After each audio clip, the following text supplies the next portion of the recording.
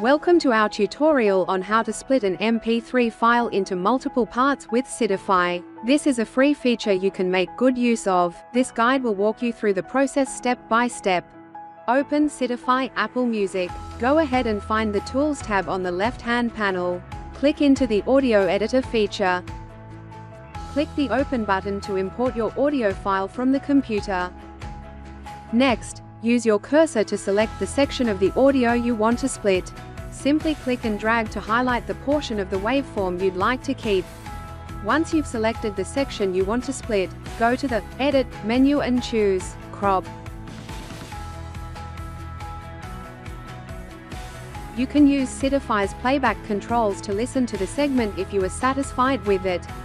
Click the Save operation, rename the separate files, and finalize the split to your computer's local path.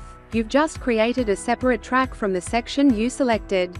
Tap the Undo icon to return to the original soundtrack. And repeat the process for each section you want to separate into its own track. To split your MP3 file into more than one part, Sidify makes it easy to create multiple tracks from a single audio file. Thanks for watching, and happy editing!